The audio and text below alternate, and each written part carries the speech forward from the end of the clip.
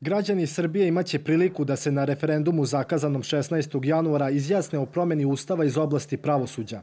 Glasanje će se održati na više od 8000 biračkih mesta širom zemlje na kojima će biti ponuđene dve opcije, da ili ne.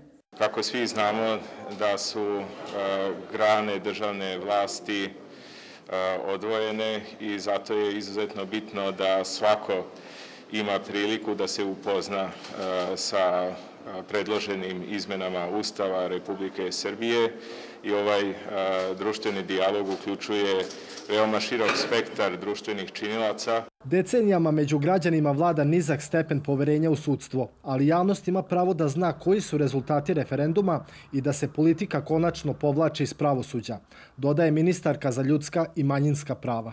Utisak je da je Evropska unija u svojim komentarima E, pozitivno ocenila ceo proces e, ustavotvornosti, da su ljudi iz struke, iz pravosuđa, e, kazali nije sve idealno, postoje stvari koje su mogle biti mnogo bolje, za sada nisu, ali je dobro kao prvi korak.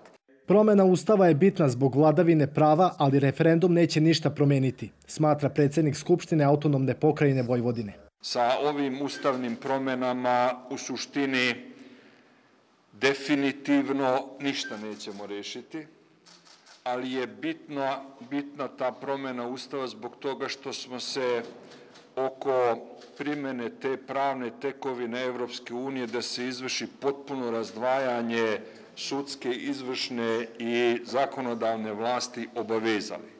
U modernoj istoriji Srbija je 13 puta menjala ustav i to poslednji put 2006. kada je došlo do razdvajanja Srbije i Crne Gore. Želja Srbije je članstvo u Evropskoj uniji, a jedan od uslova ulaska je usklađivanje zakona naše zemlje sa evropskim.